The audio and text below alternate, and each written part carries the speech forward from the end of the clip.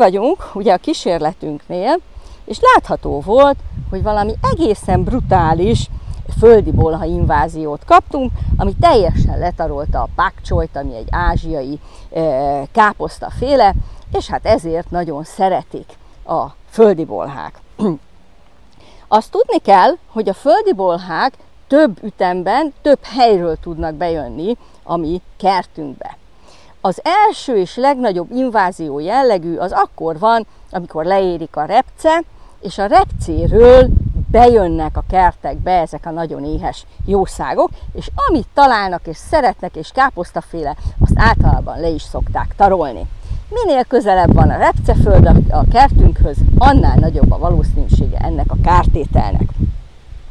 No de, mit tudunk tenni? Hát nagyon érdekes, ugyanis az előbb mutattam, hogy ha meghagyunk néhány tő pakcsolyt, vagy bármilyen más ázsiai salátafélét, vagy például sarkantyúkat, sarkantyúkát, esetleg rukkolát, akkor ezeket annyira szeretik a, a, a földi bolhák, hogy arra fognak rámenni. És jól látható volt, hogy a pákcsoly mellett itt volt az összes karalábé, aminek semmi baja nem volt, pedig ugyanúgy káposztaféle, egy pici pöcs sem volt a levélen, miközben a pakcsolyt pedig tarra lerágták.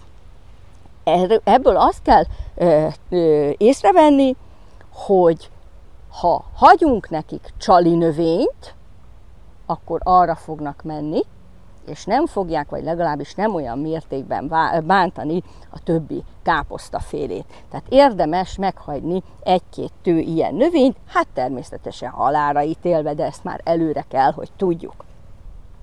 Viszont utána ilyenkor szokott következni a ö, téli káposztaféléknek a vetése, amit ha olyan kertbe vetünk el, ahol már volt egy földi bolha invázió, azok ott le is tették a földbe a petéiket. Tele van petével, tehát ahol károsított a földi bolha, ott tiszta pete az egész ö, ö, föld, tehát az egész talajfelszín tiszta ö, pete.